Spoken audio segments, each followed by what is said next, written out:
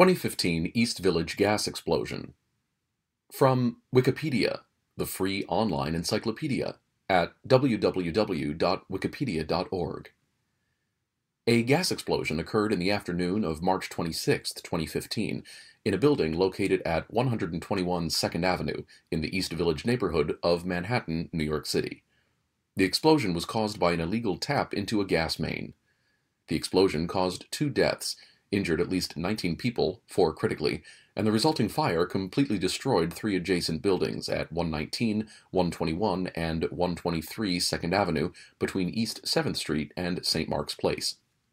Background in early 2014, a meter reader for Con Edison, the utility company that delivers natural gas, electricity, and steam in New York City and in the metropolitan area, discovered that someone had illegally tapped into the 1.5 inch, 3.8 centimeter gas line, which serviced the Sushi Park Japanese restaurant at 121 2nd Avenue, the only part of the building authorized to receive gas service from Con Edison.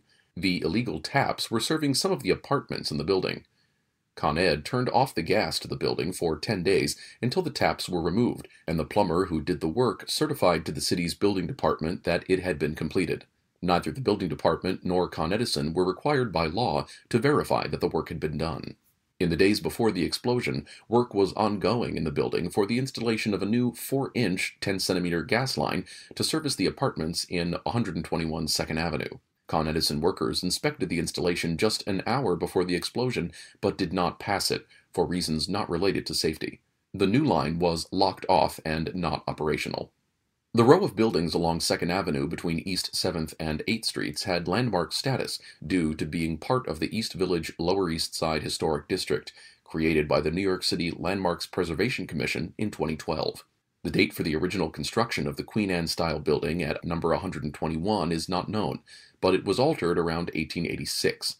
The Greek Revival one at number 123 was built around 1834 and altered to the Neo Grec style in 1913 by George F. Pelham, and the building at number 125, which was designed by Pelham in the Renaissance Revival style, was built in 1901.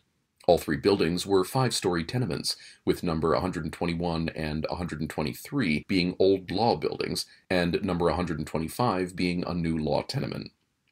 Explosion On the day of the explosion, Con Edison investigators had inspected a new gas pipe installation at 121 2nd Avenue, which remained turned off, and left about 2.45 p.m.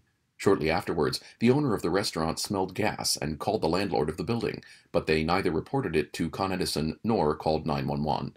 When the contractor in charge of the work being done and the landlord's son opened the basement door, an explosion occurred, with the front of the restaurant being blown out across the street.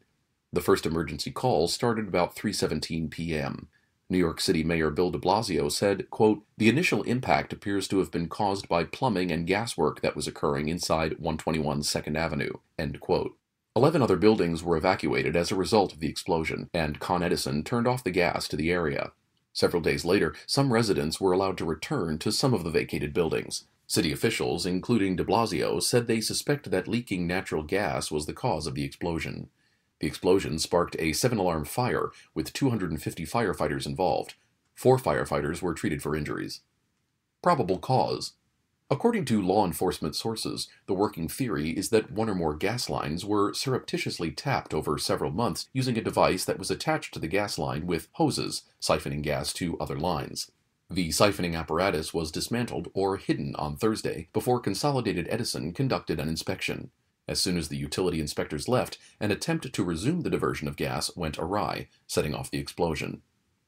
Impact The three adjacent buildings at 119, 121, and 123 2nd Avenue on the northwest corner of East 7th Street and 2nd Avenue were all completely reduced to rubble by the early morning of March 27, 2015. An adjacent building, 125 2nd Avenue, was severely damaged but is still standing. Residents of 144 apartments in 11 buildings were evacuated. Multiple residents and families in the impacted area lost their homes. Four food related storefronts were completely destroyed, all located on the first floors in the collapsed buildings East Noodle Ramen Shop at 119 2nd Avenue, Sushi Park, a Japanese restaurant at 121 2nd Avenue, and two restaurants at 123 2nd Avenue Palm Frites, a Belgian fry shop, and Sam's Deli.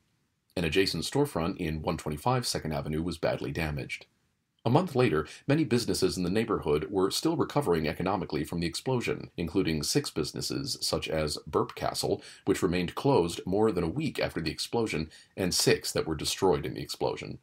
The Good Old Lower East Side, a nonprofit social organization in the neighborhood, organized fundraising and donation drives to help people affected by the explosion.